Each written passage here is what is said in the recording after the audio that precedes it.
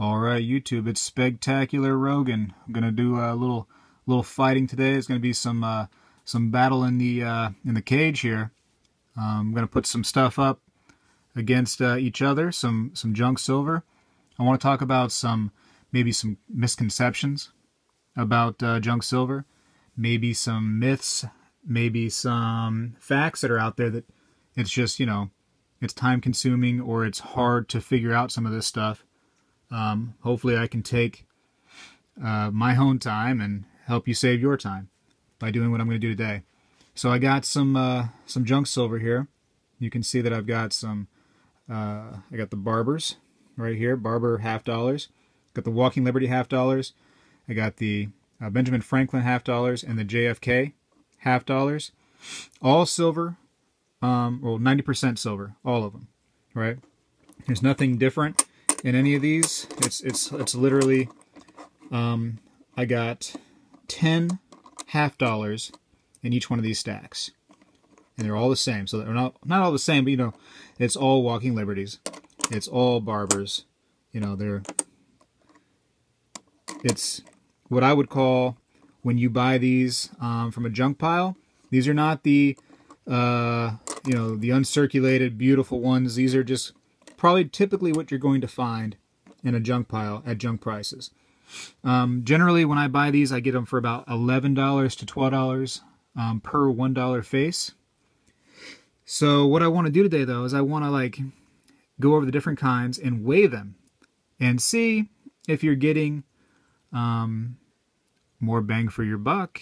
If you go for the, let's just say, you know, the 1964 stuff, or a little bit earlier than that, you know, in compared in comparison to, you know, the older stuff like the barbers. Are you getting more bang for your buck if you go for, you know, what what is probably going to have more silver in the in these ones? Because they're less worn, they didn't have enough years, you know, to to get into people's pockets and to get jumbled around and and get worn down. So what I'm going to do is I got my my handy little scale right here what we're going to do is we're going to, I'm going to try to push these out of the way. And we're going to weigh each stack and kind of figure out, is it worth it? Is it worth it? So we're going to turn this bad boy on. That's it powering up. It's powered up. It's got grams on it.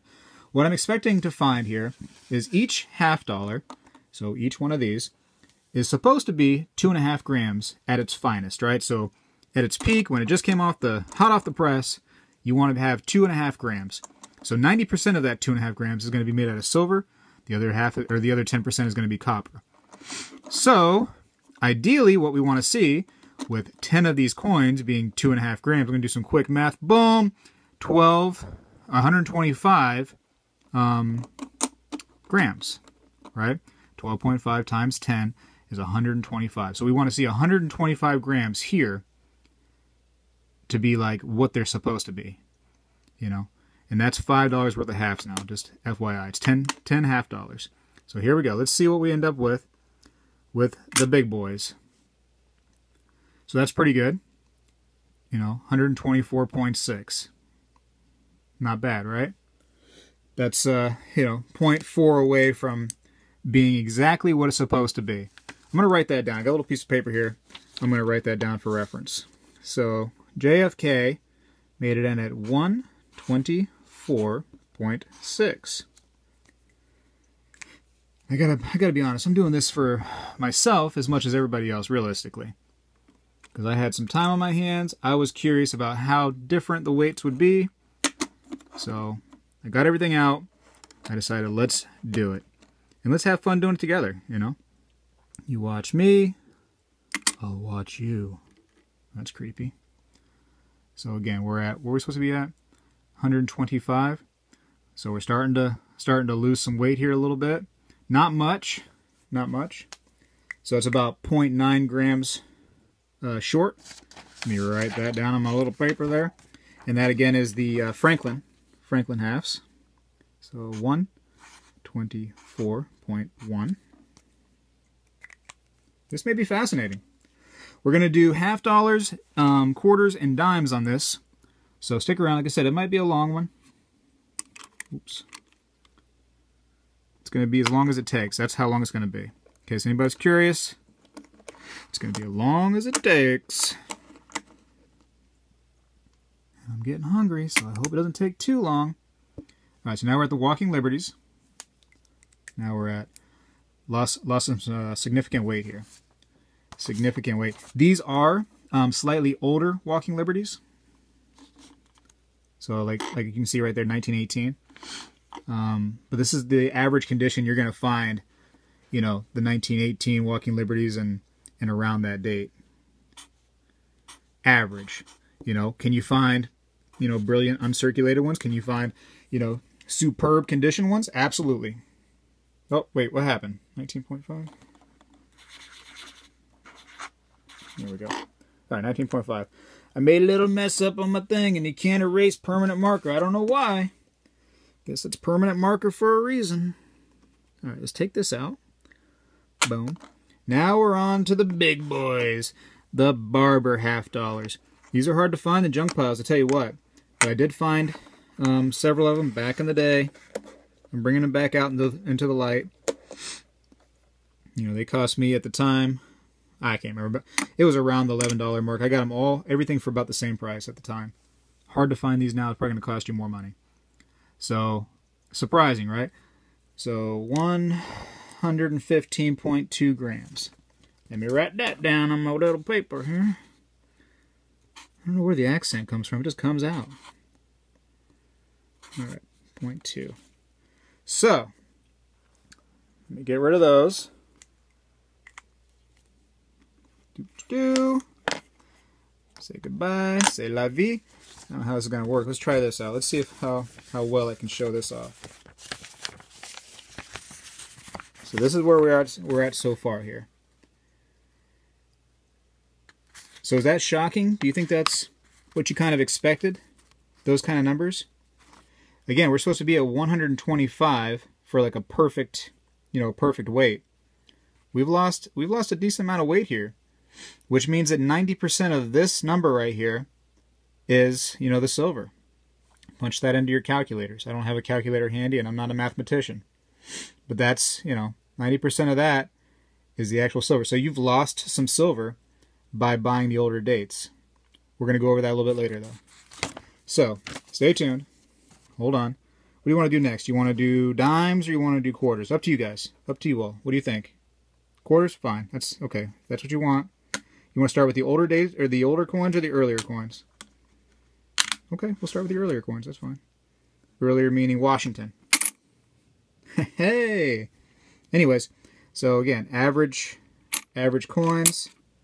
You know what I mean? Average condition for these. Let's see where we're at. Um, should say that these are supposed to be 6.25 grams each quarter, right? 6.25 grams on each quarter. 10 quarters are in my stack. So $2.50 worth total. So we should see a number like, let me do the math in my head, 62 and a half grams. 62.5 grams is what we should be at if it was a, like I said, straight out of the mint, never touched quarter. So this is where we're at, 61.4. So, you know, actually kind of surprising. That's kind of um, that's kind of a dip in what seems like a, a deeper dip in comparison to like the JFKs or something. So where am I at here? Uh, uh, uh, quarters. Let's see. Uh, 60, 61.4. Just put wash. Okay. Alright, let's get rid of those. Let's get on to the next. We'll do the Standing Liberty. So now uh, I want to say that these Standing Liberties are all uh, 1925 or later. So they'll all at least have the dates, which could help could help their. Uh, oops, my, my calculator turned or my calculator, my my my scale turned off. What happened? Please don't tell me it's running out of batteries. That would be a bad day because I am not going out in the middle of the night to get batteries. No way. I'm just kidding. I'd go for you all. I would do it. Hopefully the Walgreens is 24-7. All right, standing, standing Liberty quarters. I just got marker all over my finger. No big deal. Washes off. Never permanent. It's going to be there forever. I'm going to put quart. It's going to be 59.7. So, again, those are all with dates, so there might be a little bit more weight because it has, you know, the date's not rubbed off. I don't know how that works uh, compared to the dateless. I did have dateless. I could have did, did too, but uh, I wanted to do the ones with dates. Because, I mean, that's typically what you want to go for anyways. If you're buying, um, you know, stand, standing liberties in a junk pile, don't get the ones without dates. Get the ones with dates. It'll just, it, it covers more, let's just say it covers more ground you know, you could sell it to a coin collector. You could sell it for silver. You can, you know, there's more avenues to make money with those if it has the date. So now we're going to go to the old barber quarters. Whoa! All right, barber. Let me write that down. Barber. Huh? And then we're going to go 57.1. And again, this is supposed to be 62.5. 62.5 ideal weight. So let me show you all the numbers. What, what we added up to here. Uh -huh. That's where we're at. 62.5 is what is ideal. And that's what we got. So we've we've lost quite a bit of weight. Again, older coin. Is that what you expected? Well, if you watch the earlier part of the video with the half dollars, you would see there's some kind of a pattern right now. You know, so is it worth it to buy uh, the Barbers if you have a chance to buy the Washingtons? Stand by, we'll talk about it. Or is it even worth it to buy junk silver at all? Maybe you should only buy, um, you know, bullion because you're definitely getting, you know, your one ounce if you get a bullion, a bullion ounce uh, bar or, or round all right, here we go. We're doing, well, let me tell you about this first. So we're gonna doing the dimes now. It's going to be Roosevelt dimes first. Uh, these should be two and a half grams each. I have 10 of them, so a dollar's worth right here. So quick math, that's going to be 25 grams. This is what this should be right here, 25 grams. These are probably a little bit more worn than you could usually get Roosevelts because they're generally they can come in some decent conditions. But I just went for the average. I didn't pick out any certain coins. I literally just picked out from the average of uh, of the pile. So we're at where are we at here? I'm running out of paper space. Okay, let's do uh, rose. Let's type rose because that sounds beautiful. Rose is 24.7. What did I say it was again? It's supposed to be 25 grams total. So 25 is the ideal weight. Dokily dokily, dankily dankily. Let me take these off. What are we on now? We're on, uh, what do you think? You want to do Barbers or Mercury's? Alright, you guys wanted it. You can have you can have your Mercs. That's fine. I'll listen to y'all, you know what I mean? I listen to the peoples. 24.2 for Mercs. Type in Merc. 24.2. So not that bad. Not that significant. I don't think. Know, what do you think? Now, let me show you the barbers. Boom. Whoa, right? Barber. B-A-R-B-E-R. 2.5. Alright, so, try to show you this. So that's what we should be, 25. That's what we ended up with. Take a second to let that thing sink in. So, is it worth it to buy the Barbers if you can get a Roosevelt? Is it worth it to get a Roosevelt if you, you know, a Merc rather, if you can get a Roosevelt? You know, if you're only going for silver, only going for silver, you know the answer. If you're only going for the silver content, the answer is to go for um, the JFKs, half dollars, to go for the Roosevelt dimes, to go for the Washington quarters. That's the answer. You know what, for fun, um, I'll show you some differences between uh, dollar coins that are worn and not worn. So here you go with a pretty pretty good. Um, one dollar coin, and that should be. Man, I think it's I think it's supposed to be like 27, 27 grams, I think, or something like that. Twenty, uh, pretty close to that, approximately. My little book right here. You want to look at it? Hold on. Let me let me give you the accurate info. I don't want to give you approximately. You know that's that's not who I am. That's that's terrible. I shouldn't have did that. My bad. I have access to information right here. Let's just use it. Because why not, right? Let's not give you the the maybes. Let's give you the is. So it should be 26.73 grams. That's how much that should weigh. Okay, 26.73. So that is ideal weight. That's perfect. So now I'm going to get one that's a little bit more worn. And you can see it's dropped now. Remember, the ideal was 26.73, so we're down from that a little bit. Look at the look at the mark right there where I got myself with the with the permanent marker. That's going to be there forever until I die. I'm going to go uh, I'm going to be in the grave and uh, you know, my great great grandkids or whatever I got are going to be like, "Yep, look at his finger. Marked himself." So now this is a Morgan. She's really worn out, right? Let's see what she's going to weigh. 20, what I say, 27, 26.73. 26.73 is the ideal. 26.73. So we've lost some weight, right? Not too bad, but not too good either. So, is it beneficial to buy the Morgan over the Peace? Or should you always get Peace dollars? You know, if they're in better condition. Well, again, if you're going only for silver, you know the answer to that. You absolutely know the answer. You can do that in your own mind, with your own, you know what I mean? Like you know the right from wrong. So now, just for fun, I want to show you some of the differences visually. I'll stack them together. Stack the quarters together. Okay. Let's show you how these look this way. So let's try to take this off the, uh, the old $3 Walmart tripod.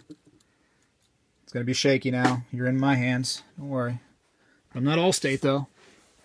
Alright, so, so here goes the half dollars. You can see the visual difference. I mean, what we? I'll, I'll show you. So you don't forget which ones they were. Look at that difference. It's like a it's like a ladder. It's like did I count them wrong or what? That's why there's less weight. Here's the here's the dimes. It's a dollar's worth of each one. Excuse me. Got the hip hops. The hip hop anonymous. See little little steps it's doing there. Bump, bump, bump. Here's my quartus. Oh wait, let's arrange these better so we can see some steppage. Let's put those there. Okay, so Washington to the right, Standing Liberty in the middle, Barber on the left. You see the difference? It ain't pretty, right? So, there goes the question. Is it worth it to get you know, the older coins?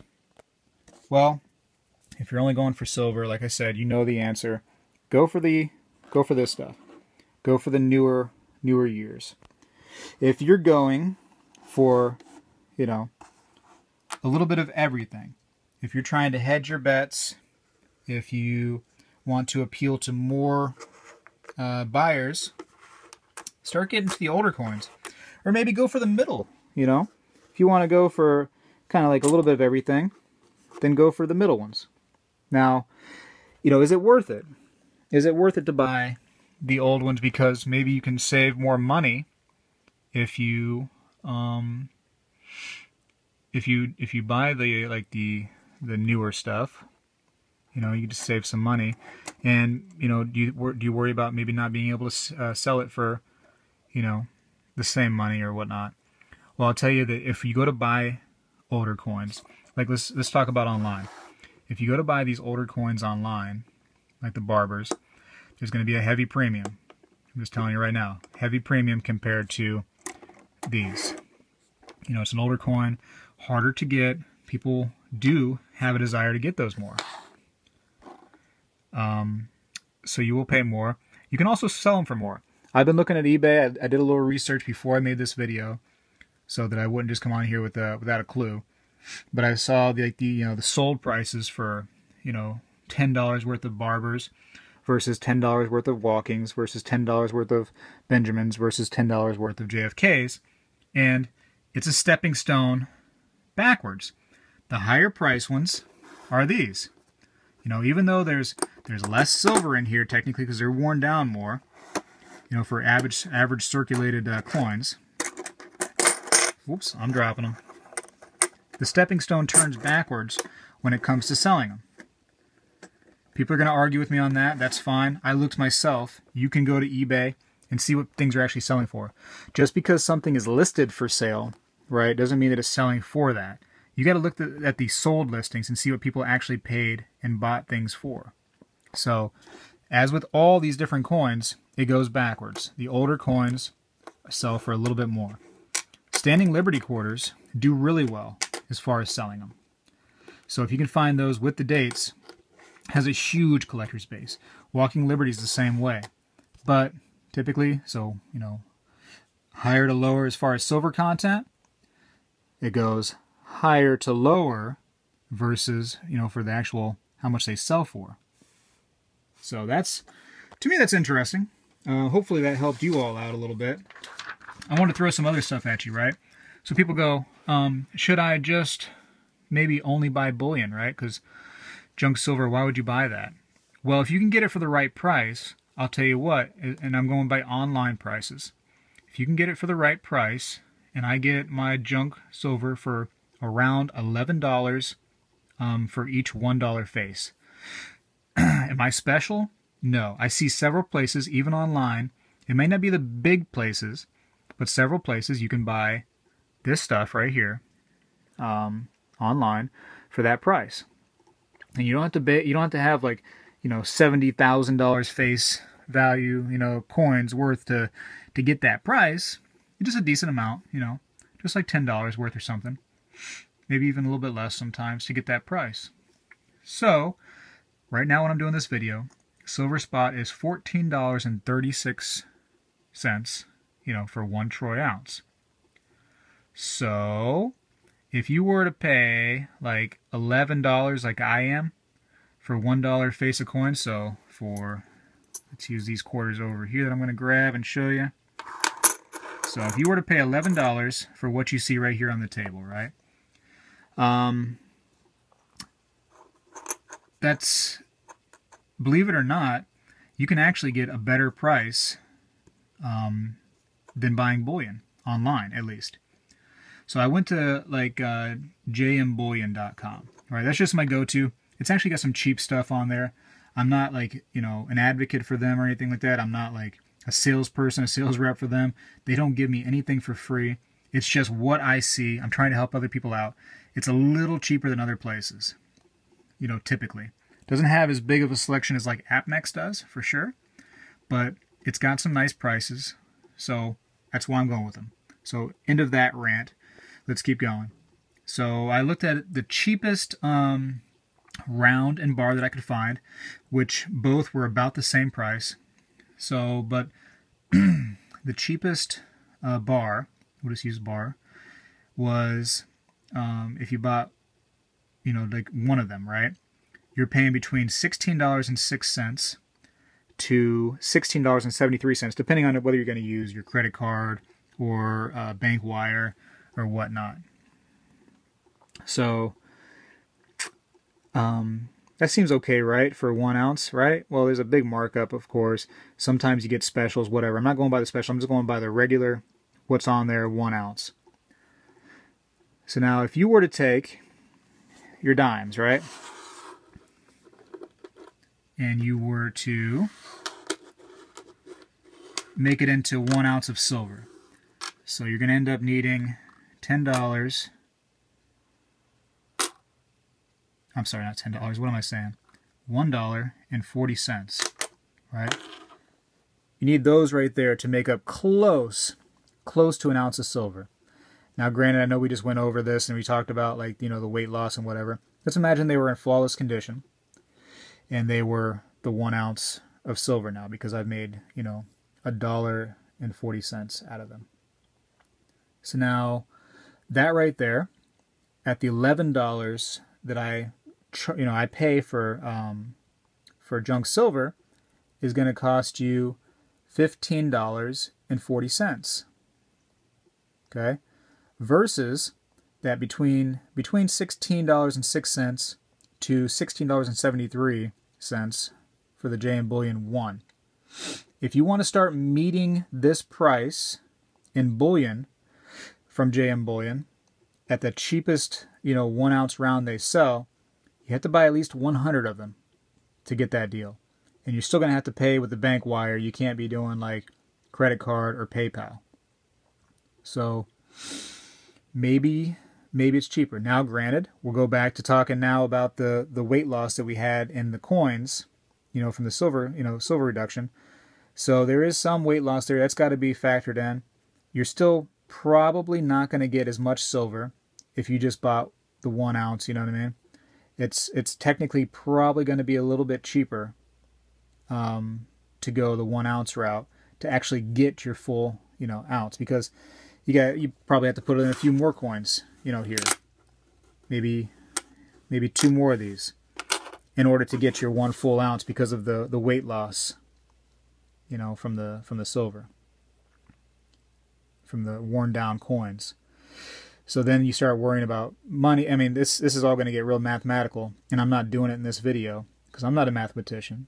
If you if you all want to do that video please do it. But you can use your head and see what i'm talking about that you're not going to quite get you know as much silver for the price if you buy the junk silver versus the bullion but you know saying it like i said and i showed you before technically um, you're getting more bang for your buck potentially if you can get it for the right price the junk silver but then again, like I was saying, there's different avenues to sell these things. You sell them to a coin shop. You know, coin shops will take these. Coin shops might not take your bullion, you know, depending on the coin shop. Um, online, when you go online to sell, like let's say eBay, right? You're not just selling bullion when you sell these junk silver. You're selling to coin collectors and you're selling to the uh, the silver collectors. You're selling to more different people who just want to collect history. People who just want to collect history now you have a you know that kind of buyer at your door. Well, not at your door if you're on eBay, but you get it. You know what I'm talking about. So, I'm not trying to tell you one way or another what you should be doing in this video. That's not. I'll tell you that I love this stuff. I buy it because it has to more outs to me, but I still buy bullion too. This goes back to, you know, diversifying. And if you diversify, you're going to find out that that's just, it makes your stack stronger and better, and you have more ways to get rid of this stuff if you do want to sell it if, and get rid of it, you know. So that's pretty much all I can really do. To me, the fascinating part was the amount of weight loss that you see in some of these some of these old coins. You know, it's it got pretty significant there, didn't it? Whew, this would ruin the whole video if I ended up popping these these over right here and one was not what it was supposed to be, ooh, you'd be like, whoa, here goes the whole video. But I do want to show that I didn't just like, you know, play around and put whatever coins I wanted to in here. It was all the barbers. You know, it's the right coins.